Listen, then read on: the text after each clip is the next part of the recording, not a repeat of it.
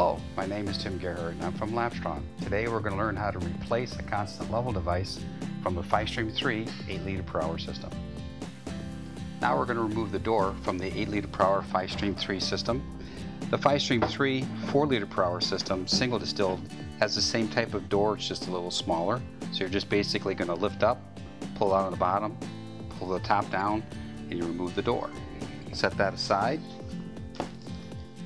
Now we're going to go ahead and remove the top cover. Top cover for the 8 liter, 4 liter bi-distiller, same size. The top cover for the 4 liter Fi-Streem 3 is just a little smaller, but still has the same two blanking plugs that you're going to remove from the top. A uh, Phillips head screwdriver, two Phillips head screws. Just going to go ahead, remove the screws from the front.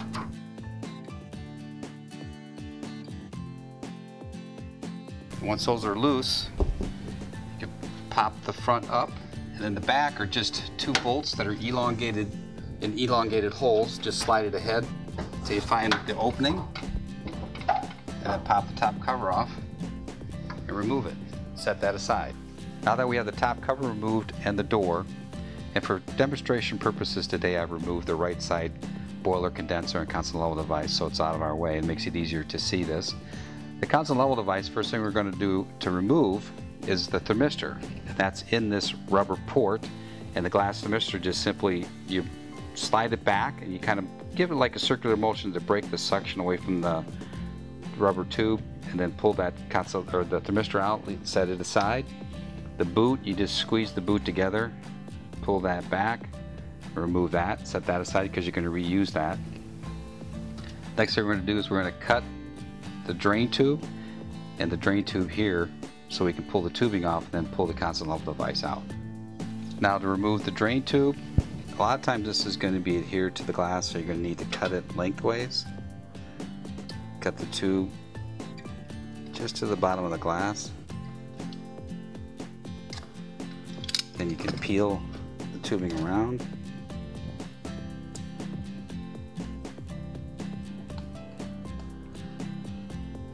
Remove it from the constant level device. Same with this drain tube.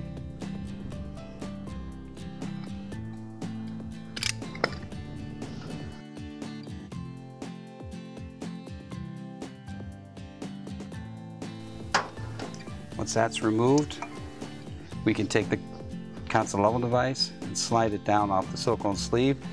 Sometimes you won't be able to do that. You might have to cut the sleeve lengthways, but slide that down. Now that we have the old constant level device off, you're going to take the new sleeve, which the constant level device will come with the new sleeve, slide it up onto the condenser, take your new constant level device, slide that into place, leave yourself about a 16th of an inch gap between the two glass pieces right here. Now that we have the constant level device back onto the condenser, we're going to reattach our tubing. Sometimes you can use a little bit of water to make this a little easier to slide that tube up inside. All right, and then our bottom drain, put a little water on the connector, slide our tube.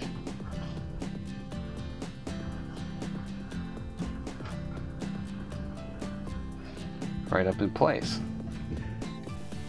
The last piece to install on the constant level device is the thermistor. This is the thermistor plug. Put that in empty. Take your thermistor, you can put a little bit of water on the thermistor, to make that easier to slide inside. You slide that in so that it protrudes inside and it can sense the water level. Your constant level device is now installed. Now that you completed the component replacement on the Fi-Streem 3 system, we're going to put the top cover back on.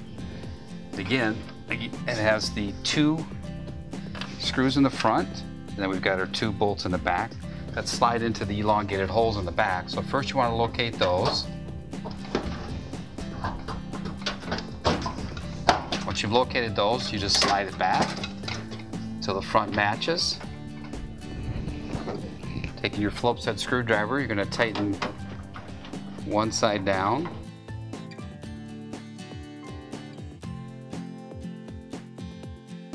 Once they're tight, put your blanking plugs back in.